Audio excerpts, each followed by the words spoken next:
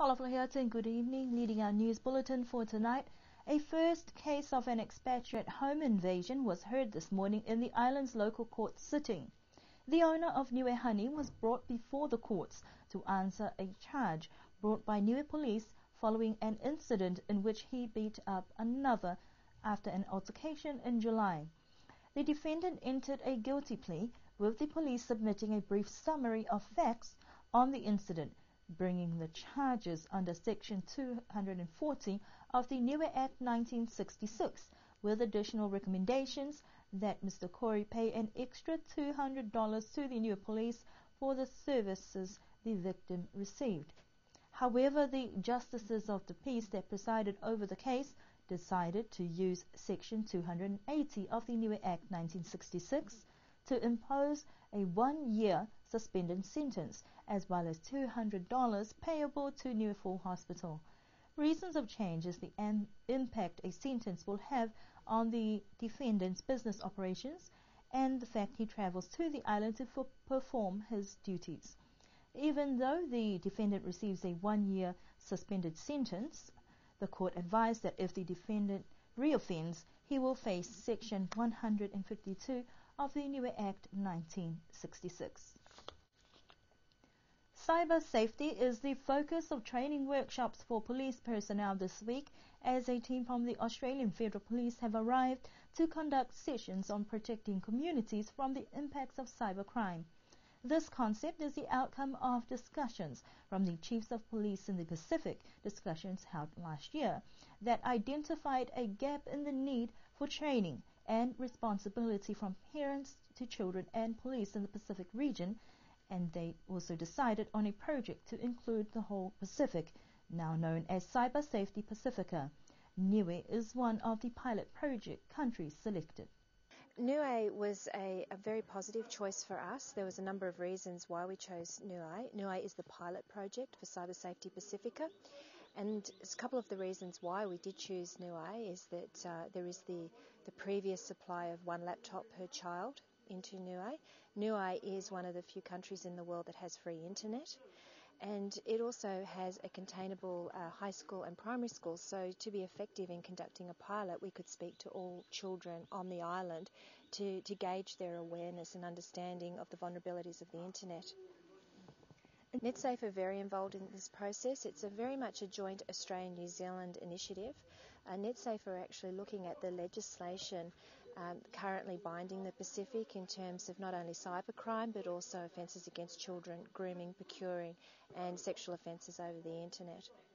The police of Niue are being provided with a two day workshop on training that's relevant to not only uh, the use of the internet, protection of children by um, activities over the internet, but we're also giving them some information and training about travelling sex offenders and foreign predators. Uh, has very much become a destination of choice for New Zealand and Australian travellers, and what we want to do is ensure that our police here in Niue are relatively equipped to deal with any possible um, activity revolving around these sex offenders. Building the capacity of the law enforcement agencies will enable the department to be on the alert with cybercrime and also to ensure that communities are aware of the risks associated with the internet. Based on today's sessions, the police force seemed to be keen to learn more and it needs to take on a community approach in this initiative what the community here can do by protecting our children, the children of the children of today who are the adults of tomorrow, both parents, um, police, and government workers can look at ways in which we can educate these children to ensure that the children grow up in a safe environment and they are able to then pass on those letters to their children. So this is a very much a long-term project. It's a project that um, we envisage will be rolled out over a five-year period. There is a network out there, and that network is based around our transnational crime units. But I think what the important message is that we need that continual um, exposure and education because with that, um, or without that, the, the community can't support the police and the police can't do their job effectively. So it is really, really important that the community understands the risks that uh, avail an island such as Niue and also understands the, the greater risk to the Pacific region. The hope is to cover 21 countries in the region for the duration of the project, which is for the next five years. The regional foreign economic ministers met in Apia, Samoa in the 15th FEM meeting discussing different aspects of developments and cooperation in the region as well as globally and foremost addressing climate change issues. Niue's Premier Honourable Toke Talagi said much of the issues discussed focused on economic prosperity and reflecting on climate change. He also acknowledged other islands close by that have increased development economically and their abilities to continue its economic growth substantially. Other topics discussed include the difficulties small island states face in accessing funds to address climate change impacts. Premier Talagi said it is important to cohesively tackle issues, and all ministers at the meeting agreed to broadening the economic base.